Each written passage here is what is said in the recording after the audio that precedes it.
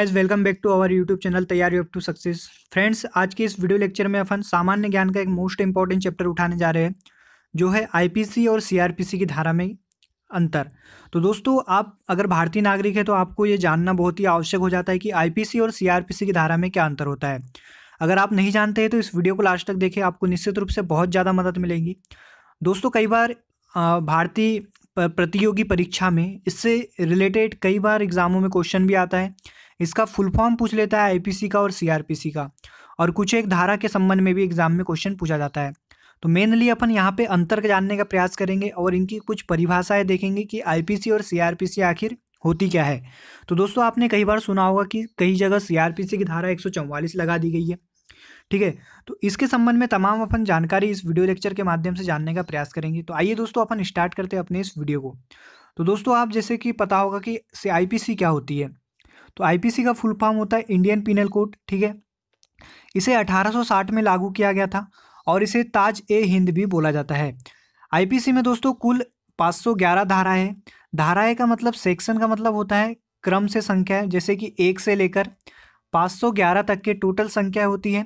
और इन्हीं में ही अलग अलग प्रकार की संख्याओं में अलग अलग प्रकार के अपराधों के बारे में जानकारी मिलती है कि किस धारा के तहत किसी व्यक्ति को कौन सा अपराध घोषित किया जाता है, उसके तहत उसे क्या सजा दी जाती है। तो दोस्तों, आपको याद रखना है कि आईपीसी में कुल मिलाकर कितनी धारा है? पाँच ग्यारह धाराएँ हैं। और दोस्तों, इन धाराओं को तेईस चैप्टर में विभाजित किया गया है। अर्थात आईपीसी के तहत टोटल तेईस चैप्टर्स हैं। ठीक है?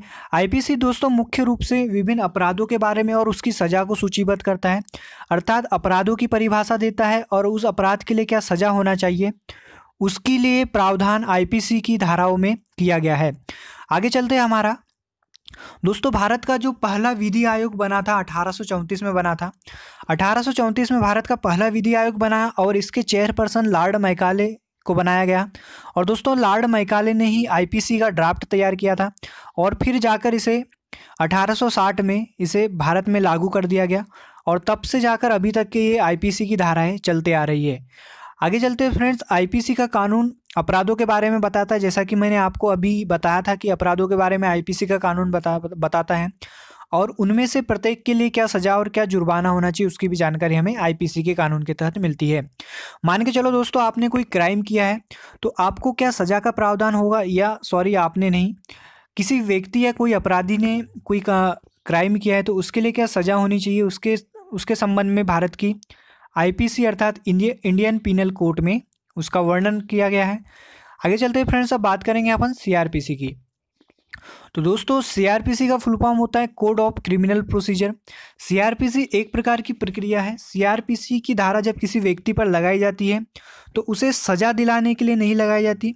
मान के चलो कि आपने कोई क्राइम करते हैं या कोई व्यक्ति कोई या कोई अपराधी कोई क्राइम करता है तो उसके खिलाफ दोस्तों सीआरपीसी की धारा जब लगती है तो उसे आ, उसके विरुद्ध जो है अपराध घोषित करने अपराध सिद्ध करने के लिए सीआरपीसी की धारा लगाया जाता है। ठीक है? दोस्तों सीआरपीसी की धारा के बारे में बात करें तो ये उन्नीस सौ तिहत्तर में पारित हुआ था और एक अप्रैल उन्नीस सौ चौहत्तर से पूरे भारत में लागू कर दिया गया। मुख्य आपराधिक कानून अर्थात आईपीसी के लिए एक तंत्र प्रदान करता है सीआरपीसी ठीक है? और दोस्तों सीआरपीसी आपराधिक मामलों में विभिन्न प्रकार के ली गई प्रक्रियाओं के बारे में बताता है। तो आपको बताते हैं कि जैसे कि कोई अपराध होता है तो उसके लिए कौन कौन सी प्रक्रियाओं अपनाया जाता है और उसके बारे में वर्णन हमारी सीआरपीसी की धारा में किया गया है। तो दोस्तों, जैसे प्रक्रियाओं का विवरण इस प्रकार है। जैसे कि दोस्तों, कोई किसी जगह अपराध होता है तो सबसे पहले क्या किया जाता है? इन्वेस्टिगेशन की जाती है। इन्वेस्टिगेशन ऑफ़ क्राइम क्राइम अर्थात अपराध की जाँच की जाती है। उसके बाद दोस्तों, ट्रीटमेंट ऑफ़ सस्पेक्ट किया जाता है, अर्थात संदिग्धों के प्रति बर्ताव। अर्थात कोई संदिग्ध है या कोई सस्पेक्ट है, अगर अपने को लग रहा है कि ये व्यक्ति सस्पेक्ट है तो उसके खिलाफ एफआईआर दर्ज हो जाती है। और उसके, उसे जो गुनाह कबूल करवाने के लिए कुछ हटकंडे भी अपनाए जाते हैं तो ये सारा सीआरपीसी की धारा के तहत ही किया जाता है। और अंत में दोस्तों एविडेंस उसके खिलाफ कलेक्ट किए जाते हैं और यह निर्धारित करते हैं कि वो अपराधी है या नहीं है। तो दोस्तों, किसी व्यक्ति को अपराधी घोषित करना या नहीं करना, इसके लिए हमें सीआरपीसी की धारा बताता है।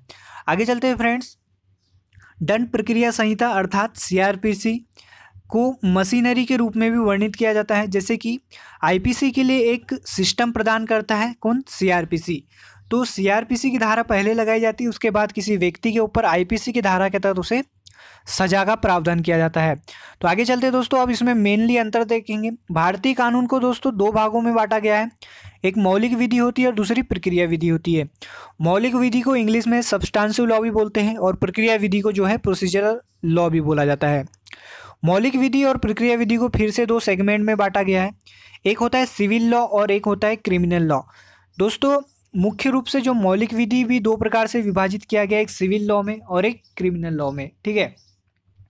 तो फ्रेंड्स जो मौलिक विधि है, वो आईपीसी को बोला जाता है। मतलब इसको मुख्य कानून को मतलब इंडियन पिनल कोड को मौलिक विधि बोला जाता है। और सीआरपीसी को दोस्तों प्रक्रिया विधि भी बोला जाता है। ठीक है? आप दोस्तों एक उदाहरण के ज़रिए समझ सकते हैं कि अपराध कब घोषित होता है। अगर कोई आ, अपने कानून भारतीय कानून का उल्लंघन करता है तो उसे अपराध घोषित बोला जाता है ठीक है? आगे चलते हैं फ्रेंड्स बात करेंगे अपन अब कि आईपीसी की आईपीसी जो है जैसा कि मैंने आपको बताया आईपीसी अपराध की परिभाषा को परिभाषित करता है और उसके खिलाफ दंड का प्रावधान करता है। और यह विभिन्न अपराधों के लिए उनको सजा दिलाता है आईपीसी के तहत। और सीआरपीसी आपराधिक मामलों के लिए प्रक्रियाओं के बारे में बताता है और इसके उद्देश्य और आपराधिक प्रक्रिया से संबंधित कानून को मज़बूत करता है। तो दोस्तों, आपको पता लग गया होगा कि सीआरपीसी और आईपीसी की धारा क्या होती है। अगर आप चाहते हैं कि मैं और एक वीडियो बनाऊँ जिसमें कि तमाम आईपीसी की कितनी टोटल धाराएँ होती है, उसको कवर करूँ तो मेरे कमेंट बॉक्स में आप इसके रिगार्डिंग क्वायरी मतलब इसके रिगार्डिंग टाइप करना कि आपको चाहिए लेक्चर ठीक है? तो अंत में मैं आपसे यही बोलना चाहूँगा कि अगर ये आपको वीडियो अच्छा लगा हो तो इस वीडियो को लाइक कर देना और अपने दोस्तों में से शेयर करना और मेरे चैनल को सब्सक्राइब करना। तो दोस्तों, चलिए दोस्तों, अपन अब स्टॉप करते हैं। Thanks for watching this video